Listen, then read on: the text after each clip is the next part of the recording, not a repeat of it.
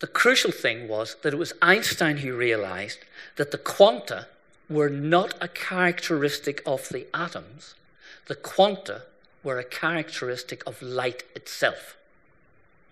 So it wasn't that the atom could only release light in this particular way, it's that light comprised of something that only consisted of quanta. And he used this insight to explain another phenomenon, the photoelectric effect. And he did this in a paper received March 18 and published June 9. And its title was On a Heuristic Point of View about the Creation and Conversion of Light. So let me describe briefly the photoelectric effect and then tell you how Einstein resolved it. Now, solar panels have shown us that sunlight falling on certain materials, and there's a schematic of it down at the bottom right, can eject electrons and cause a current to flow. That's what solar panels are about. Um, but there were two puzzles. Increasing the frequency of the light increased the energy of the ejected electrons, but not their number.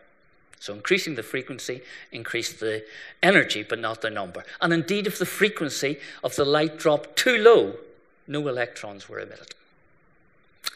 The second puzzle was that increasing the intensity of the light, the amount of light, increased the number of ejected electrons, but not their energy.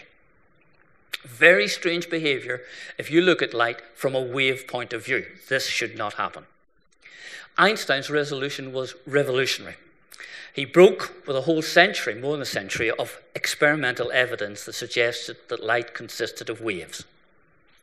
He said that one thought of light as consisting of energy quanta, or photons, with energy proportional to their frequency, then we could explain the two puzzles. And here we have here, we've got a material which ejects uh, electrons if light of a certain frequency will fall upon it. Potassium, the electrons need two units of energy to escape. The photons of red light don't have enough energy, so no electrons are released. With green light, electrons are released with a certain amount of energy. With blue light, the same number of electrons are released, but with a higher energy. That resolved the first problem of thinking of light consisting of photons, each of the photon having a particular energy.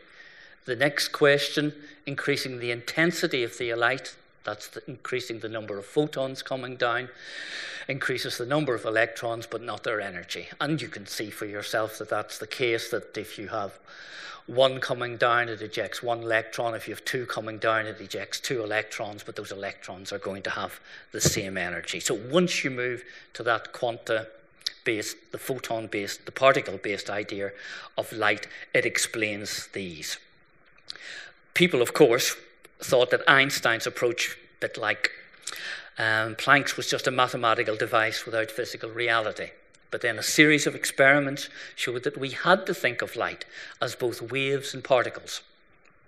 And this wave particle duality lies at the core of the, then the new quantum mechanics that was developed in the 1920s and which lies at the heart of our understanding of the atomic and the subatomic world.